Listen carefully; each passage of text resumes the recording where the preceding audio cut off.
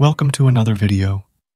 If you've been paying Perplexity's $20 fee, you're not making a good investment.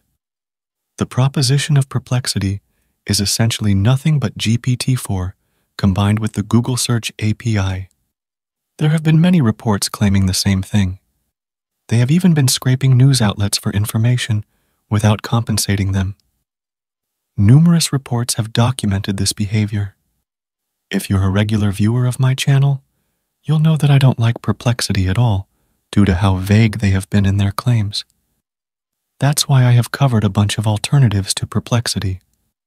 However, most of them require you to set up everything locally, which is obviously not feasible for everyone. Today, I have a secret AI tool for you that's essentially Perplexity but free, and it even comes with Claude, 3.5 Sonnet, GPT-4o, and GPT-4o Mini support, all for free. This tool is called Morphic. Morphic is a Perplexity alternative that allows you to do exactly what Perplexity does. Not only that, but it's also fully free to use without any apparent limits. If that's not enough, let me tell you that you also get three model options here. These include Claude, 3.5 Sonnet, GPT-4o Mini, and GPT-4o, meaning you literally get what Perplexity offers, but for free. If you have been an avid viewer of my channel, you'll know that I have covered this in the past. But at that time, it didn't have good options for the models, and because it's open source, I mostly focused on how you can locally host it. Anyway, now it's really cool, fully free, and if you want to host it locally, it's also fully open source, so you can do that as well. For the Claude 3.5 Sonnet and GPT-4o models, you'll need to sign up for an account. You can use GPT-4o Mini even without an account. So, let's first try it out with GPT-4o Mini. Just select the speed option over here. Now, we can use it. Let's ask it about something recent, like, tell me about the recent Search GPT launch. Let's send it. It's pretty fast, just like Perplexity. That may be because the GPT-4o Mini model is also quite fast in inference. Anyway, here's the result. You can see that it looks just like Perplexity. You have the articles here, and you also have the references for each article for better fact-checking. You also have images and other relevant information. You can ask it follow-up questions here, which is also cool. You also get AI-generated follow-up questions as well. Let's select this one over here. Okay, so it's also pretty fast. The follow-up also works fine. Now let's try it out with Claude and GPT-4 as well. To do that, we'll need to register for an account. So let's do that. Just click here and create an account. Okay, now I have created an account and I'm signed in. Let's select the GPT-4 option over here. Now let's ask it something else. Okay, so this one's also quite fast.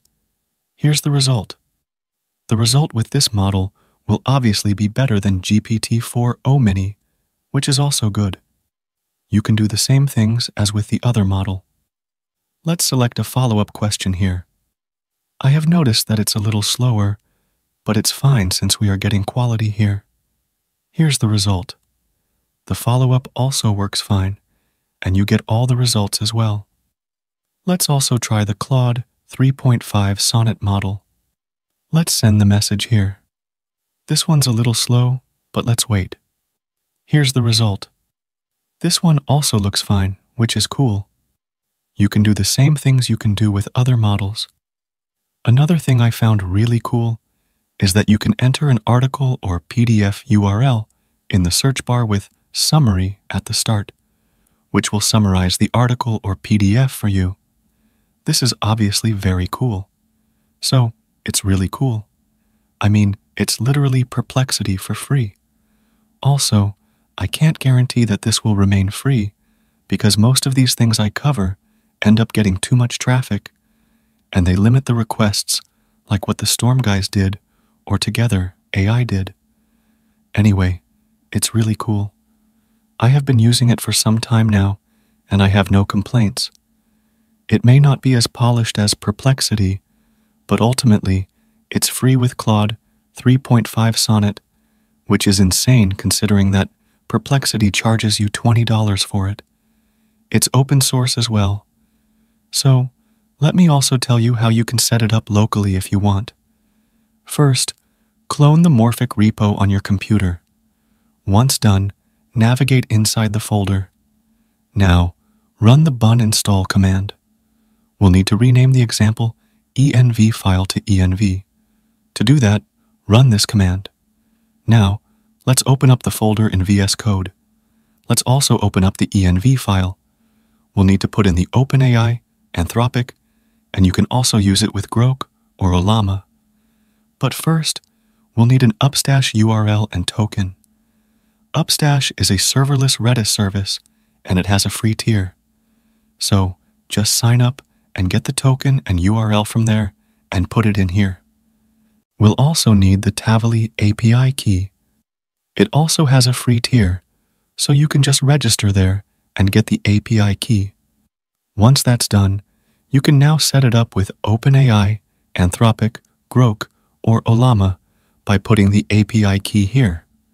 For Ollama, you'll also need to enter a base model name and submodel name as well. I'll recommend using the Llama 3.1 model, as that's the best for local usage. You can just get Ollama installed via the Ollama site and then get the Llama 3.1 model also installed from there. It's pretty easy. Anyway, I won't be using it with that. So, I'll put the OpenAI API key here. Once done, go back to the terminal and run the application with the bun dev command. Now, the application should get started. Now you can just open your browser and go to localhost and port 3000 over there. So, it's really cool as well. This way, you can use it locally, which is cool. But the best part is the hosted version, where you can use it for free with every major model, which is very cool. I think it's the best alternative right now. Let's see how long it stays free because if I cover something, it ends up getting limited. Overall, it's pretty cool. Anyway, let me know your thoughts in the comments. If you liked this video, consider donating to my channel through the super thanks option below. Also, give this video a thumbs up and subscribe to my channel. I'll see you in the next video. Till then, bye.